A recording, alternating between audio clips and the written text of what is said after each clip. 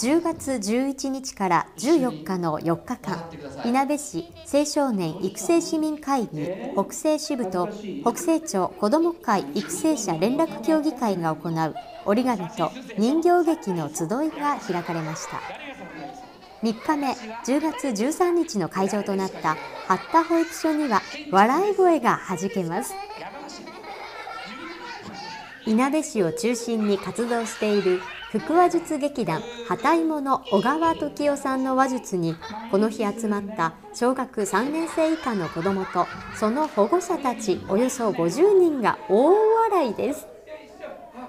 この楽しい集いは親子の触れ合いや地域住民の連帯感を深めようと20年以上前から毎年行われているもの。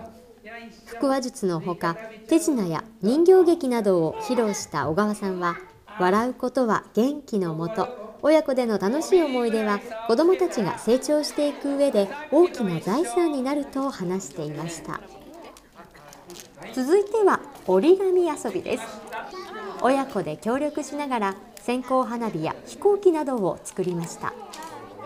毎年楽しみに参加しているという親子からはとても楽しかった家でもまた親子で一緒に折り紙を作ったりして遊ぶ機会を増やしたいという声が聞かれ折り紙が完成すると子どもたちが楽しそうに遊ぶ姿が見られました